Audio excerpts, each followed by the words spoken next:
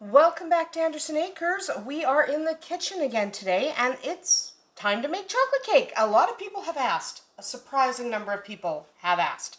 So let's make chocolate cake. Now I make my chocolate cake, my very basic chocolate cake with melted chocolate, okay? I don't use cocoa powder. You can, you can substitute half a cup of cocoa powder if you like, but I'm not going to. So before we can make our chocolate cake, we have to melt some chocolate. Okay? So what we're going to do is for the entire recipe, we're going to need about, in a mixing bowl, we're going to need a half cup of butter or margarine. That's butter, but you can use margarine if you like.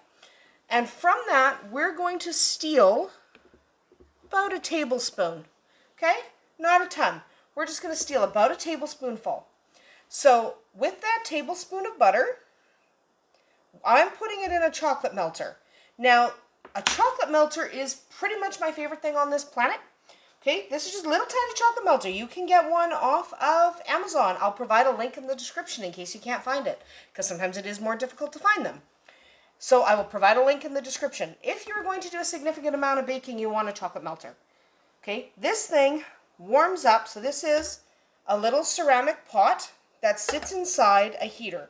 So this little metal pot with the little lids, with the little handles, has a, an element in it and it warms up your chocolate and it keeps it at a really great temperature so it doesn't burn, it doesn't scorch, it doesn't forget to melt because sometimes, you know, we're doing chocolates and it just doesn't melt. So what you want to do is get yourself a little chocolate melter. You can also do this in a double boiler on the stove or you could use the microwave. I hate doing it in the microwave.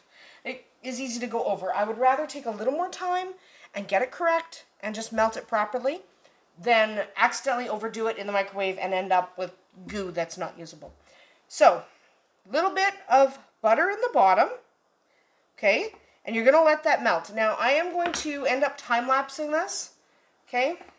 Yeah, I'm going to end up time-lapsing this because this will take a few minutes. So, while this is melting, you're going to get yourself a couple of cake pans. I am using round cake pans, 8 or 9 inch, and you are going to either butter them or you're going to use some flour or you can use some cooking spray or cake goop or whatever it is you do to make your pans not stick. I'm going to use a canola oil cooking spray and that's usually what I use. You've seen that in pretty much every video. I don't have it out right now because this is going to take a little while. So prep your pans. Okay, you want to spray them or use cake goop, whatever you like to do. I like spraying. Two eight or nine inch pans. Okay, it doesn't matter if they're eight or nine inch. The difference is negligible and it really is irrelevant. So spray those up, get those ready so that when you are done, your pans are already prepped. You're also going to preheat your oven to 350 degrees Fahrenheit. Now, this does take a few minutes. To be fair, so does melting chocolate any other way. So we're just going to end up time-lapsing till this butter is melted. Then we're going to add some chocolate, and I again, I'll have to time-lapse. So that's what we're going to do. Time-lapse is going to start right now.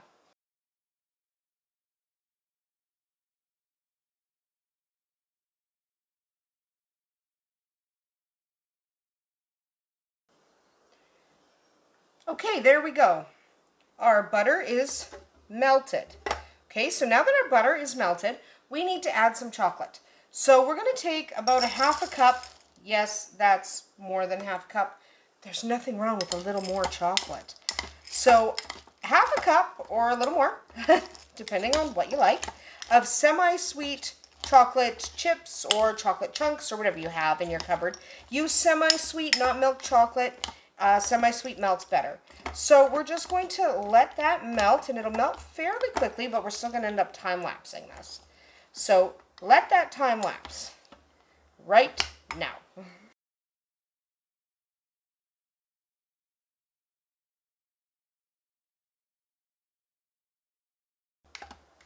All right, when this is partially melted, set it aside a little bit, not too far, and get your mixer out. So I am using the Bosch Compact Kitchen Machine, the 400 watt version, because people ask every time. So I'll put a link to this machine, but you use any mixer you have. You can use your hand mixer. You can even mix this by hand if you wanted. I'm not gonna, but you can. I'm just not gonna. so, any mixer you have, I'll put a link to this one, but you seriously don't need this mixer. It's fine. So what we're going to do now is start mixing our ingredients while this guy continues to melt. Okay, he will only take a couple more minutes. It's much faster because you have the butter in there that already started at melting. So a couple more minutes, and then we are going to add our chocolate. So we got to get this started. So you're going to have the rest of your butter in your mixing bowl. Okay, to that, we are going to add our sugar.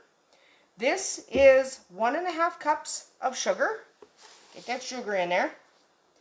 And start that mixing.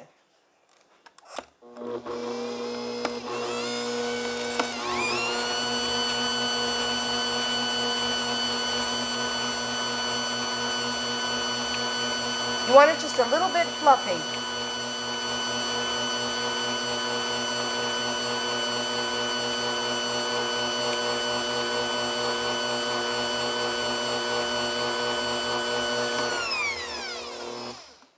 That's fine. So then we are going to add about a teaspoon of vanilla. You don't need a ton of vanilla, just a teaspoon is quite good enough. And two eggs. You can use the eggs from your chickens unless your chickens decided not to lay this week. Then you'll have to get creative and go to the store. So now we're going to blend that up.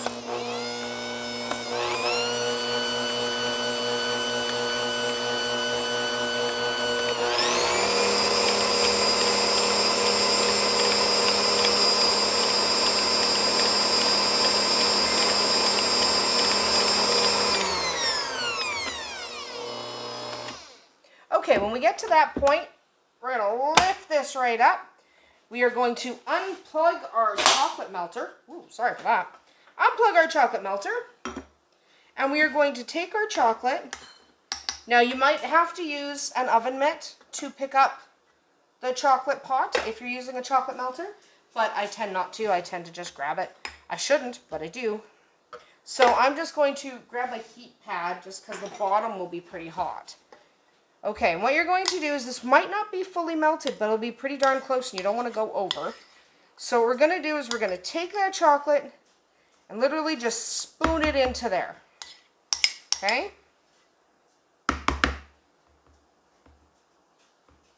that a thing? No. Sorry. Sometimes I imagine things that I'm seeing something and it's not there. It's just the way the light's coming in the window makes me think there's a thing right here and there's not. Okay. There we go. Scoop that off with your rubber spatula. Okay. We are officially done with the chocolate melter. You can take it and set it aside, which is what I'm going to do now. Okay, now we're going to do, take this, scrape your spatula off on your beater because you want all that chocolatey goodness. Okay, there we go. Lower our beater back down, whip that up.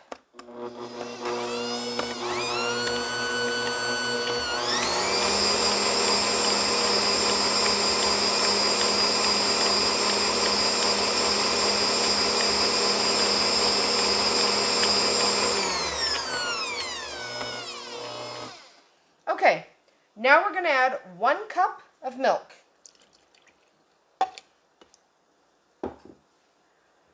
Gently for this next mix or your milk's going to come flying out.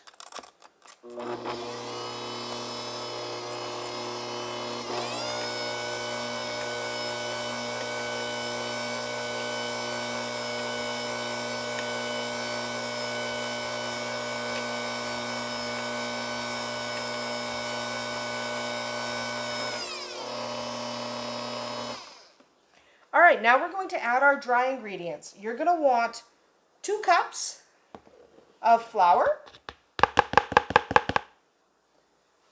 You will want about half a teaspoon of salt. Yes, you need the salt. Don't skip it.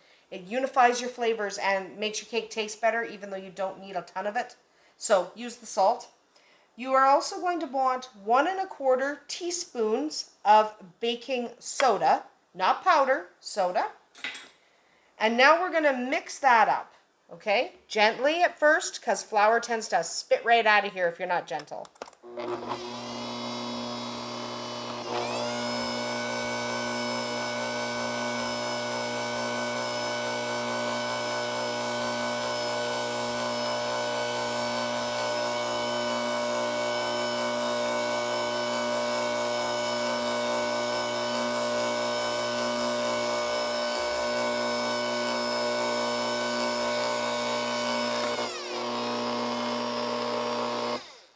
Okay, it's not ready yet, but we want to scrape down our sides real quick, just because no matter what mixer you're using, ingredients right up on the side, they can't help it.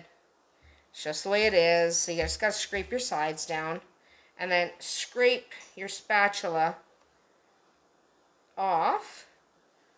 Sorry for the close-up there. but uh, scrape your spatula off on your beater. Drop your beater back down now you're going to mix until smooth. Fairly high speed.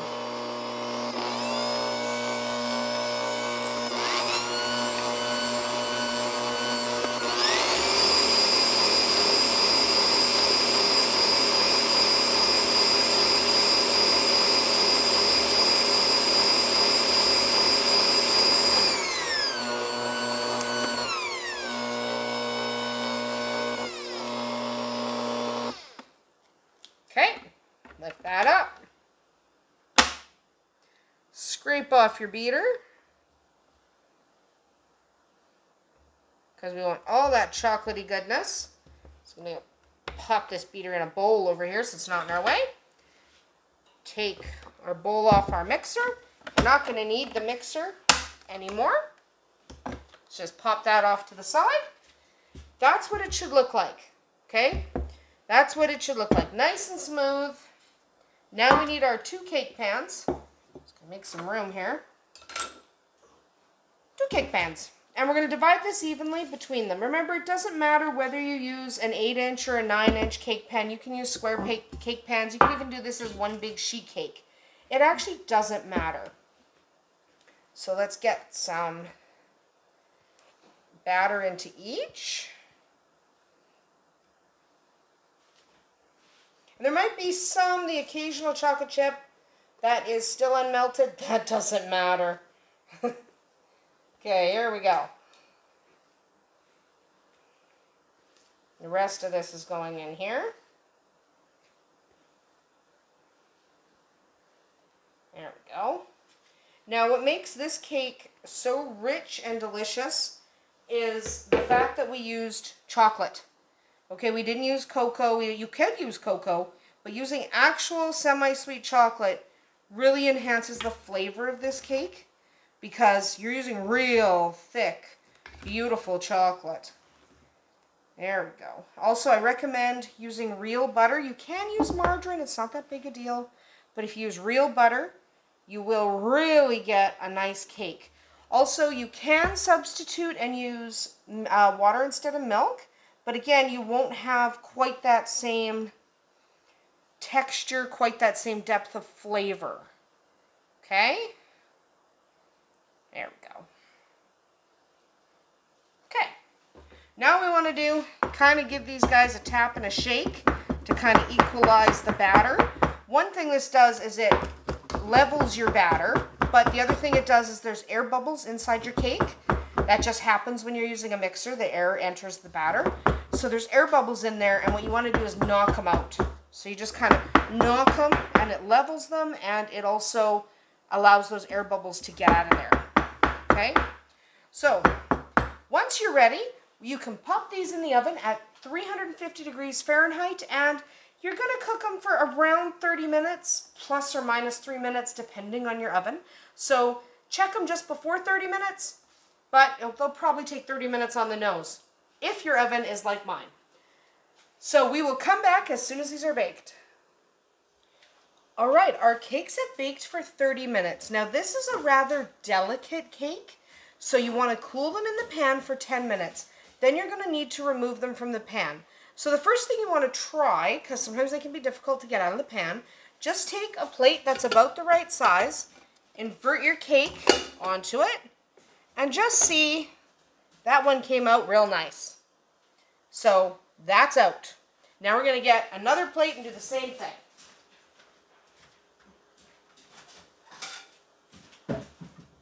So again, plate on here, flip it, just see if that'll come out, and it did. So sometimes these cakes don't want to release very well. Now this is where some chocolate chips were. Sometimes a cake doesn't want to release very well simply because these particular cakes can be a little delicate. So then being careful not to drop them and don't like smash them onto your cooling rack, but just kind of turn them back over. There we go. Let them cool on these racks. Okay, you want to let them cool completely before you do anything else because if your cakes are not cooled before you ice them, then you're going to end up with just a mess because icing melts on a hot cake. So you're just going to ignore them, let them cool. It'll probably take about 45 minutes to an hour. So what do you do with them after this? Well, it's a chocolate cake. What do you like with chocolate cake? If you like buttercream, put buttercream icing on it. I will uh, put a link in the description to a buttercream frosting if you really don't know what you want to do. You can, of course, just eat these the way they are without frosting them at all. It's delicious cake either way. Uh, my favorite frosting with a chocolate cake is a whipped cream uh, frosting. I will put a link to that recipe as well because that's my favorite. But when in doubt, go with a plain buttercream. It'll be delicious. So that's about it for us here at Andersen Acres. I hope you will try making this basic chocolate cake at home. It's delicious and certain to be a cloud, crowd pleaser. We'll see you tomorrow.